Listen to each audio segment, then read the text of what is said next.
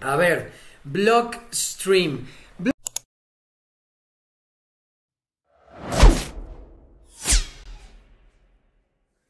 Blockstream, si no me equivoco, son los que la empresa que tiene los radares, ¿no? Perdón, sí, los, los satélites, perdón.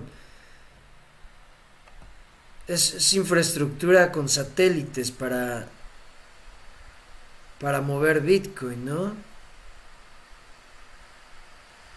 Ah, ah, ah, vamos a ver. Oh, es que tienen lo de Liquid Network, sí, Bitcoin Layer 2, sí, sí, sí. La verdad, Liquid Network no la he investigado bien. Entiendo más Lightning Network. Miren, aquí está. Esto es lo que yo sé de Blockstream. Que tienen un satélite para enviar, para hacer transacciones sin internet. Eso es, es, por eso que yo conozco Blockstream. Pero eh, no sabía de Blockstream que ellos tenían lo de Liquid Network. Sí, he leído de Liquid Network. Vean, es una capa 2.